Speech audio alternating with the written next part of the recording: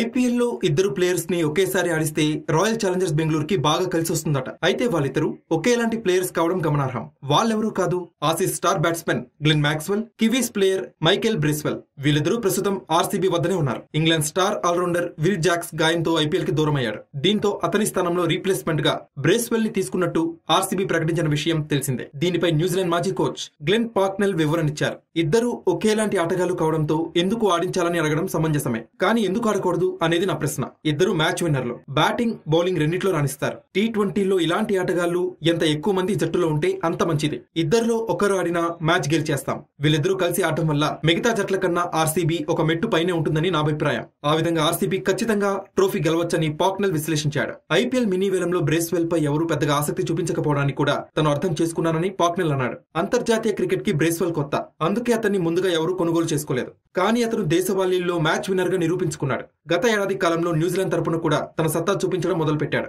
భారత్ పై అతను ఆడిన ఇన్నింగ్స్లో అది స్పష్టంగా కనిపించింది. ఆ మ్యాచ్లో మైదానం అన్ని వైపులా అతను భారీ షాట్లు బాదాడని పాక్నెల్ గుర్తు చేశాడు. అదే సమయంలో మరో కివీస్ ప్లేయర్ని కూడా ఆర్సీబీ ఆడిస్తే బాగుంటుందని పాక్నెల్ చెప్పుకొచ్చాడు. అతనెవరో కాదు టీ ట్వంటీ ఫార్మాట్లో కివీస్కి అద్భుతమైన ఓపెనింగ్స్ అందిస్తున్న ఫిన్ అలెన్. గత ఏడాది కూడా ఆర్సీబీతోనే ఉన్న అలెన్కి ఆడే ఛాన్స్ దక్కలేదు. ఆర్సీబీలో ఏదైనా మార్పు కావాలి. దీనికోసం ఫిన్ అలెన్కి ఛాన్స్ ఇస్తారని ఆశిస్తున్నాను. వాళ్ళు కొంచెం ధైర్యంగా ఆడాలి అసలు అలెన్ పై నమ్మకం లేకపోతే అతన్ని ఆర్సీబీ ఎందుకు కొనుగోలు చేసిందో నాకు అర్థం కావడం లేదు. కాబట్టి ఈ ఏడాది అతనికి అవకాశం ఇచ్చి అలెన్ ఏం చేస్తాడో చూడాలి అని పేర్కొన్నాడు.